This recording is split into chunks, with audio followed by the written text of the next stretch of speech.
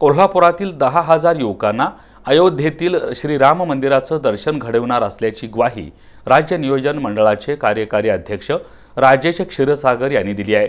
शिवसेना शिंदे गटाच्या कोल्हापुरातील मेळाव्यात ते बोलत होते.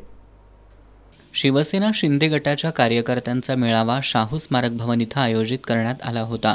या मेळाव्यात बोलताना राज्य नियोजन मंडळाचे कार्यकारी अध्यक्ष राजेश क्षीरसागर यांनी मुख्यमंत्री एकनाथ शिंदेंचं काम पाहून शिवसेनेत विविध पक्षातील प्रमुख पदाधिकारी प्रवेश करत असल्याचं सांगितलं.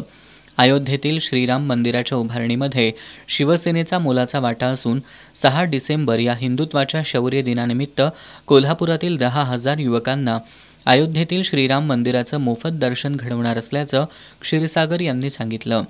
आगामी काळात पक्ष बांधणीसाठी शिवदूतांची नेमणूक करावी शाखांची उद्घाटनं करावीत करवीर दक्षिण आणि उत्तर मतदारसंघात ज्येष्ठ पदाधिकाऱ्यांचे मेळावे घेण्याच्या सूचना त्यांनी पदाधिकाऱ्यांना केल्या.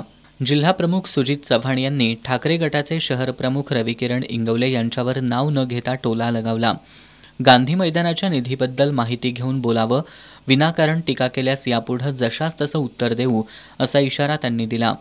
यावेळी मेळाव्यात आम आदमी पार्टीच्या महिला शहराध्यक्षा अमरजा पाटील उपाध्यक्ष संतोष घाटगे लमाण बंजारा विकास महासंघ महाराष्ट्र राज्य अध्यक्ष रामचंद्र शंकर पवार लमाण बंजारा विकास महासंघ जिल्हाध्यक्ष कोल्हापूर रवी राठोड जयवंत पलंगे विशाल वाठारे अरुण राऊत धैर्यशील शिंदे मारुती पोवार शशिकांत माळी यांच्यासह शेकडो पदाधिकारी आणि कार्यकर्त्यांनी शिवसेनेत प्रवेश केला.